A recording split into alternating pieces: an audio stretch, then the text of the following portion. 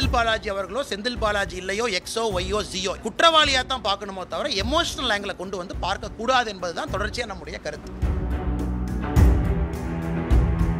ஒரு மனிதனுக்கு உடம்பு சரியில்லை அதை டாக்டர் சர்டிஃபிகேட் பண்ணுறாங்க டாக்டர் நடவடிக்கை எடுக்கிறாங்கன்னா முழு ஒத்துழைப்பு எல்லாருமே கொடுக்கும். அது எந்த மாற்று கருத்தும் இல்லை.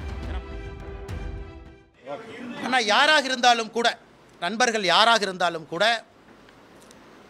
உடல்நலம் என்பது ரொம்ப முக்கியங்க. அதில் எந்த மாற்று கருத்தும் இல்லை. குறிப்பாக ஹார்ட்டு லங்ஸு முக்கியமான உடல் உறுப்பில் இருக்கக்கூடிய பிரச்சனைகள் அது எதாக இருந்தாலும் கூட மனிதாபிமான அடிப்படையில் தான் அதை பார்க்கணும்.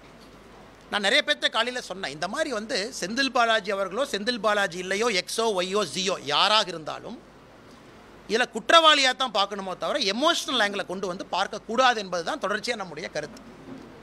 தனிப்பட்ட முறையில் செந்தில் பாலாஜி அவர்களை நீ பல இடத்துல தாக்கியிருந்தாலும் கூட தனிப்பட்டமாக பல விவாதங்கள் நடந்திருந்தாலும் கூட ஒரு மனிதனுக்கு உடம்பு சரியில்லை அதை டாக்டர் சர்டிஃபை பண்ணுறாங்க டாக்டர் நடவடிக்கை எடுக்கிறாங்கன்னா முழு ஒத்துழைப்பு எல்லாருமே கொடுக்கும். அது எந்த மாற்று கருத்தும் இல்லை. ஏன்னா மனிதனுக்கு உயிர் தானே முக்கியம். அதுக்கப்புறம் தானே எல்லாமே.